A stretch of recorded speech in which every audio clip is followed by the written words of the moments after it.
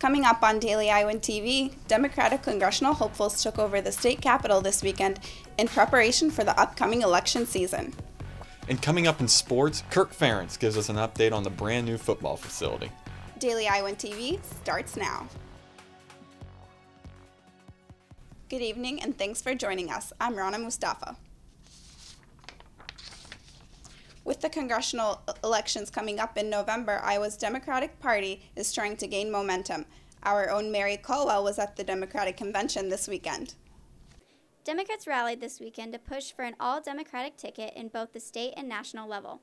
Other Iowa Democrats joined keynote speakers Jack Hatch and current Maryland Governor Martin O'Malley in order to discuss each of their upcoming campaigns. Lieutenant Governor to Jack Hatch is Monica Vernon, and she used this opportunity to speak to potential voters to support her campaign. You've got to raise awareness and raise dollars and, you know, just get voters to uh, pay attention. And uh, we think it's time for a change at the top of Iowa. And so we're convincing people of that. She was joined by current Congressman Bruce Braley, who stressed the differences in his campaign compared to Republican nominee Joni Ernst. It's very important, especially for college students, to realize there are vast differences between where we stand on issues that are going to affect their lives. Both Braley and Ernst are now vying for Senator Tom Harkin's seat, who is now dedicating his time to focus on what he's passionate about.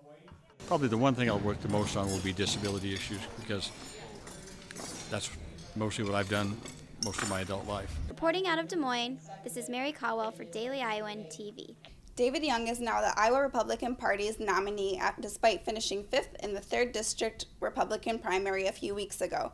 Yesterday, Iowa delegates selected Young over Brad Zaun for the 3rd District congressional nomination. Young will go against Democratic nominee Staci Appel for this seat in the Congress. And now for a look at this week's weather, we're going to toss it over to Mary Caldwell to see what's in store for Iowa City. Mary? Thanks, Rana. Yesterday was the first day of summer, and you can tell because the bugs are out and the humidity is here to stay. The rain will be settling in tomorrow, and the high will be in the 80s. But look forward to Tuesday, because the sky will finally be clear with a high of 83. On Wednesday, we're going to expect more of the same, with typical summer heat and partly cloudy skies. That's all we've got for you on weather today. Back to you, Rana. Thanks, Mary.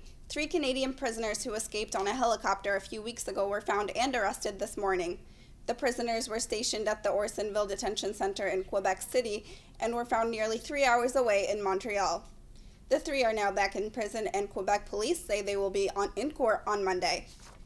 And now we're going to toss it over to Tanner Sigworth to keep us updated in the world of sports. Tanner, what do you have for us? Thanks, Ron. And we begin with an update on Iowa football's brand new facility. Kirk Ferentz meeting with the media last week, addressing an update on the new $55 million project. Not sure exactly when it's going to be done, but had a chance to go through it last week. We went through it uh, right before the end of spring ball, and going through it last week, four or five weeks later, uh, it's just really fantastic. So very, very excited about that as well. And uh, looking forward to the first time our players can, can go through and experience it. Can't wait to get it actually into the, the new facility altogether.